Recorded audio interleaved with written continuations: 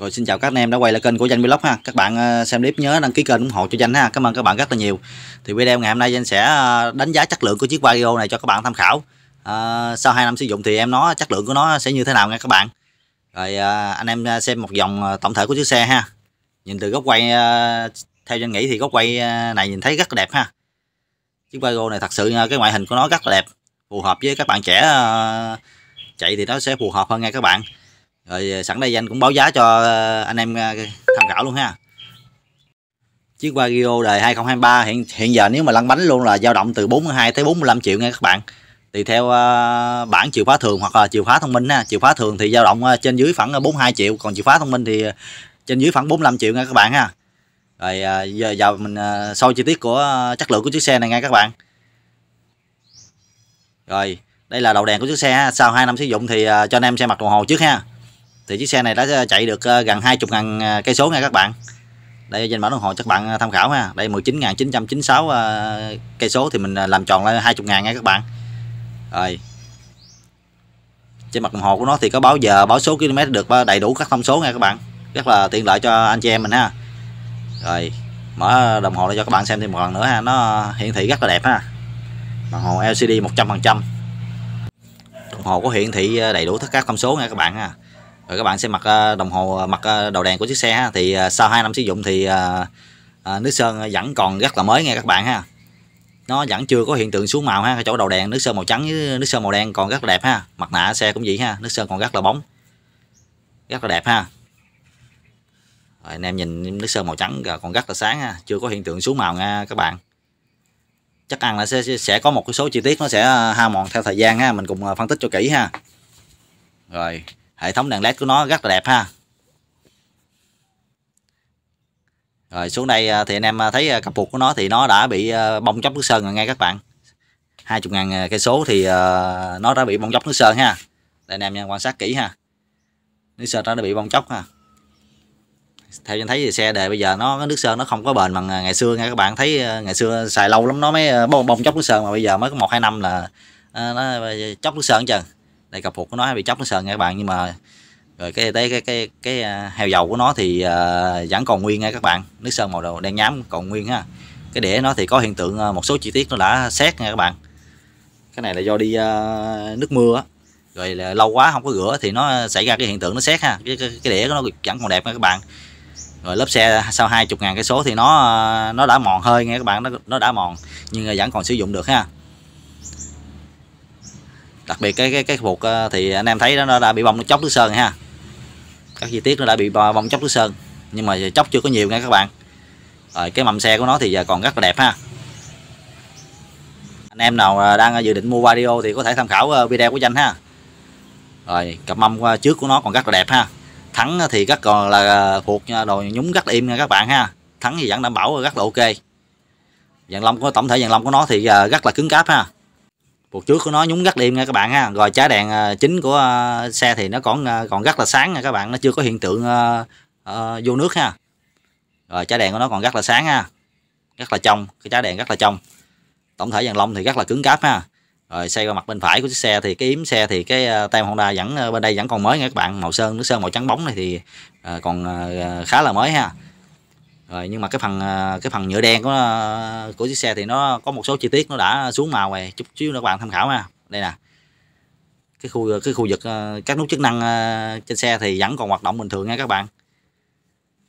Chưa có hết bình bình xài 2 năm vẫn là chưa hết ha. Bình xe rất là tốt ha. Ba dây tắt máy vẫn còn hoạt động bình bình thường ha. Rồi, xe này thì sử dụng ổ khóa chìa thì vẫn hoạt động hiệu quả ha đây có chi tiết xe thì cái phần nhựa ờ, đen nhám này với đen bóng này thì nó đã xuống màu nha các bạn. Nó đã có hiện tượng cũ ha. Nó đã bị uh, chóc nước sơn rồi nó uh, bay màu theo thời gian các bạn. Nó, nó các bạn nhìn thấy ha nó đã, cũ rồi đó. Quay tới đầu thì nói tới đó luôn nha các bạn. Rồi phần nhựa này thì nó đã cũ ha. Rồi sàn lấy chân cái cái nhựa cái nhựa sàn lấy chân thì nó cũng đã cũ luôn các bạn. Rồi qua phần bên trái của chiếc xe thì cái yếm này tem Honda nó đã đã bong chóc nha các bạn ha nó đã cũ và đã có hiện tượng mong chóc ha. Còn tuy nhiên nước sơn màu trắng nền của nó thì vẫn còn rất là mới ha. Rồi yên xe của nó thì à, mềm lắm nha các bạn. Yên xe mềm ha ngồi rất là thoải mái ha. Xe này cái yên xe nó mềm hơn chiếc AB 125 rồi, cản sau của xe thì à, vẫn còn mới nha các bạn. Được sơn màu đang nhám là vẫn còn mới ha chưa có bong chóc nước sơn ha. Còn khá là đẹp xài sau 2 năm sử dụng thì nói như gì cũng là quá ok rồi ha các bạn. Rồi xuống ờ, phần ờ, gắt chân xe. Phần nhựa ở đây phần nhựa ở đây thì nó đã cũ rồi nha các bạn. Nó đã xuống màu ha. Nó không còn sáng như cái lúc ờ, mà xe mới được ha. Rồi gác chân thì nó cũng đã hiện tượng gỉ xét rồi nha các bạn. Ha, xét ha. Phần tem xe bên đây thì trên đây bên bên đây thì nó cũng đã có hiện tượng là bong chóc các bạn. Rồi còn riêng chữ Vario thì rất là đẹp ha. Vario còn ờ, như mới mua nha các bạn, chữ Vario rất là đẹp ha. Đây là chiếc Vario 125 nha các bạn. Còn rất là đẹp ha.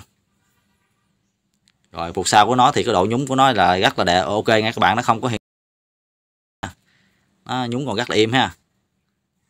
Rồi, xe này sử dụng động cơ ASB các bạn, chút xíu danh sẽ đề máy cho các bạn nghe tiếng máy của nó ha cục máy của nó xài tới bây giờ vẫn rất là im nha các bạn. Độ mạnh, độ bốc là vẫn còn im ha. Nhưng mà nó bị hơi gào một chút xíu ha. Chút xíu nữa danh sẽ đề máy cho các bạn nghe ha. Nó hơi gào một chút xíu thôi chứ không có gào gào nhiều đâu nghe các bạn.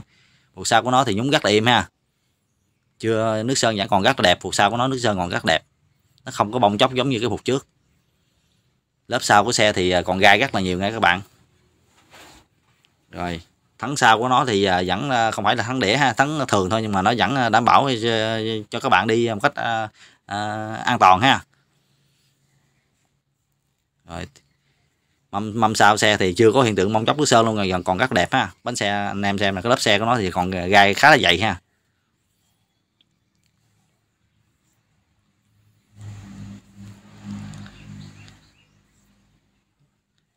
Bộ xe của nó thì các ốp nhựa cái ốp nhựa này thì nó đã cũ rồi nha các bạn nó đã bong chóc ha. Nó, nó, nó xuống màu theo thời gian đó. Còn cái cặp mâm xe cái mâm xe thì còn rất là đẹp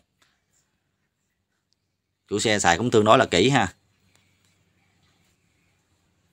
Rồi cho nói thêm một phần về cục máy ờ, ờ, của chiếc xe các bạn quan tâm ha. Cục máy này thì ờ, danh chạy thử nhiều lần ha, nó còn độ bò độ mạnh và độ bốc còn rất là ok nha các bạn ha, nhưng mà chạy nó hơi gào nha các bạn. Tại vì nó hơi cũ đó nó hơi gào ha, nhưng mà nó không không đáng kể nha các bạn.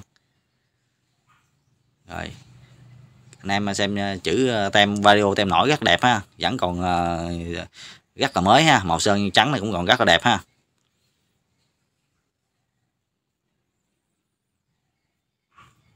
Rồi cái phần nhựa bên đây thì nó nó đã bị chày với nó bị xuống màu rồi, anh em.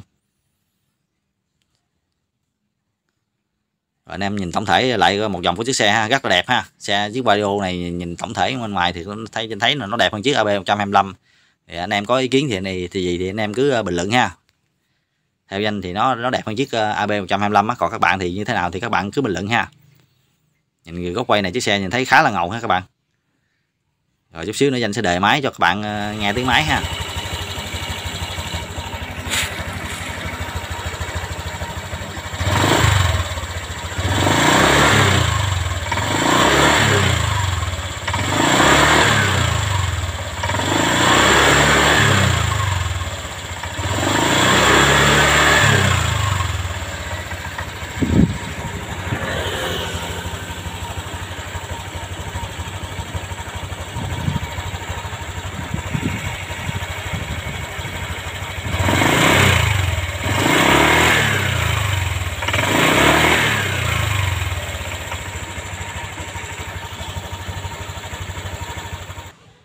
Rồi video à, danh à, kết thúc tại đây nha các bạn. À, chúc các bạn buổi chiều vui vẻ ha. Rồi xin chào các bạn nha.